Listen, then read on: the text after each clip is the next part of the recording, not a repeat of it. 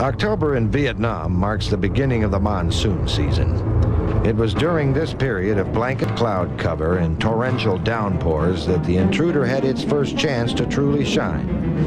Enemy troops, once given a reprieve from air attack when the monsoon rain set in, could now expect to be hit in the worst of all weather conditions. Weather capability of the A-6A came both from the strength of its airframe and the power of its electronics.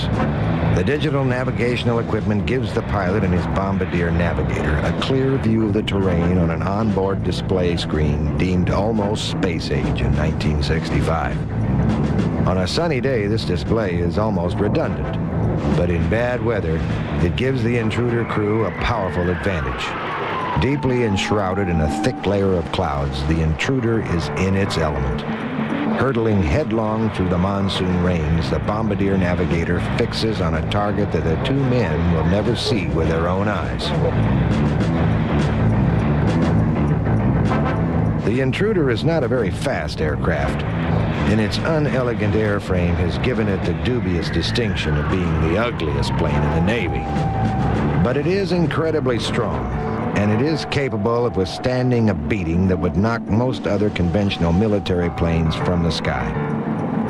The heart of the intruder's strength comes from a box beam that is milled from a solid block of aluminum alloy. In a manner of construction one would associate more with a house than an airplane. This solid beam passes from one wing through the fuselage to the other wing and is what gives the plane its strength and ability to carry such a massive load of bombs.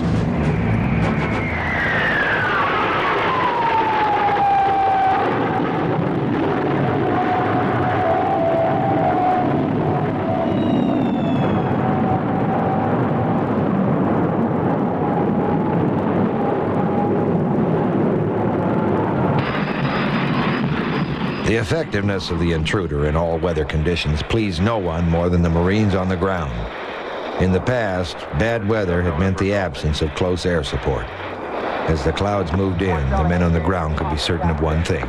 They were on their own. With the A-6 now in the fleet, those days were over. The Marines could now expect full air cover anytime, any weather.